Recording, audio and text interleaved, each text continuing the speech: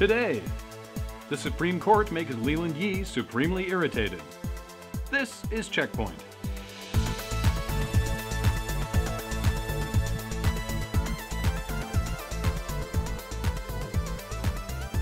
Hi there, I'm Graham. I'm Kathleen. Welcome to Checkpoint, where we are redefining hip and cool. As antonyms.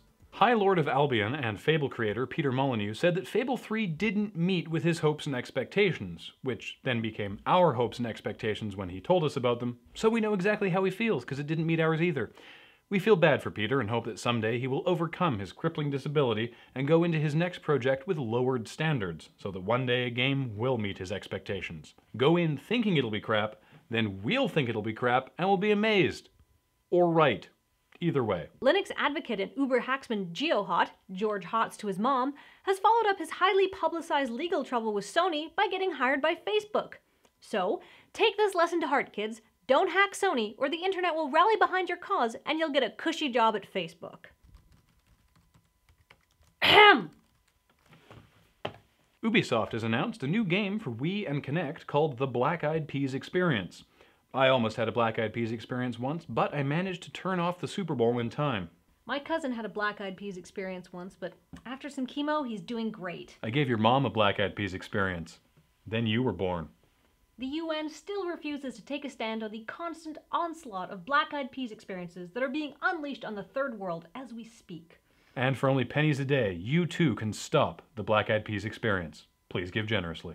In the wake of fan outcry, Capcom is claiming that the inability to delete your game save in Resident Evil Mercenaries was not made to combat used game sales. They are, however, being weirdly guarded about why the decision was made. So we can only assume it's because they realize the game is so bad that no one will want to play through it again. RPG foundry Square Enix is releasing an album of popular songs from some of their better known games demade into 8 bit chiptunes, seemingly ignorant of the fact that some of the music already was 8 bit.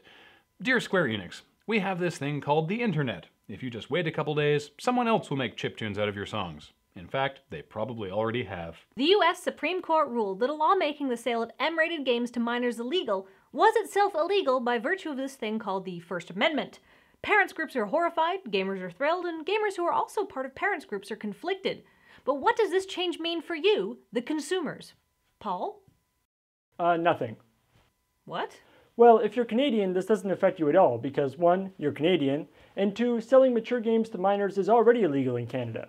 But you do get all the French writing on the box, so hey, bonus text. If you're Australian, you won't get M-rated games anyway, so this doesn't affect you. You probably don't even know what an M-rated game looks like. Okay, that's cool and all, but what if you are American? Still nothing. Really? After all that, it seems like it was kind of a big deal. Now, don't get me wrong, it was an important decision. But all this really means is that the video game industry can continue making all the gore splattering games they want, and retailers can keep making the customer boning rules they want. GameStop won't sell M-rated games to minors anyway, and Walmart won't sell most M-rated games at all. So where could a minor buy an M-rated game? Probably at a small mom and pop gaming store, but those have basically been put out of business by GameStop and Walmart, so mission accomplished, I guess? Okay, so we can just put all of this behind us then. Well, Leland Yee, the senator behind the whole thing, is petitioning for it to go back to the Supreme Court. Oh, that's nice. We wish him the best of luck. I'm sure the Super Supreme Court is just gonna jump right on that appeal. Well, it's it's good to see a senator keeping busy. Means at least he's not having any sex scandals. Yet?